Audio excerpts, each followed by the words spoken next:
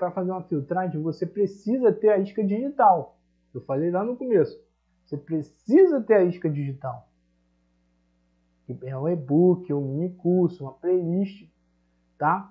Você precisa disso para você fazer uma filtragem na sua lista comprada ou extraída. Tem muita gente que extrai, né? É, é, extrai e-mails, mas alguns e-mails desses nem existem mais também. Também a lista comprada, alguns e-mails também não existem. Mas você faz uma filtragem, faz uma filtragem. Esse é a técnica que você tem que fazer, uma filtragem, tá? Para que você possa fazer depois. Aí depois você vai fazer um funil de vendas. Né? Você vai mandar o primeiro e-mail, segundo e-mail, terceiro e-mail, quarto e-mail, tal, até você vender, né? E caso você faça tudo isso e não venda, ainda não, você não venda, você pode pegar ir lá no Hotmart, pegar um link. Eu já falei isso também no meu canal. Eu, eu tenho muitos vídeos aqui, gente. Se você tá primeira vez está me vendo, né, pulou de paraquedas de paraquedas nessa live, tá vendo na reprise, sei lá.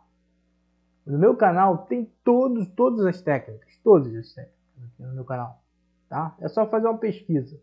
Eu falei quase de tudo já. Falei quase de tudo. De como criar uma página de captura de e-mail, é, como criar página de e-book, enfim, criar uma isca digital. Tá? Eu já falei de tudo, todos esses assuntos aqui. É só se inscrever no meu canal aqui, fazer uma pesquisa que você vai ver. Tá? Então, é isso aí que você tem que fazer, tá? Para atrair clientes pelo e-mail marketing. Aí você começa a atrair clientes pelo e-mail marketing. Até mesmo de uma, uma lista comprada, né? Ou uma lista extraída.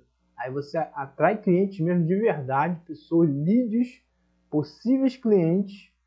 Aí você atrai de verdade mesmo. Aí você começa a fazer o funil e aí você vai vender para essa pessoa. E de repente você pode vender até mais de um produto para essa pessoa.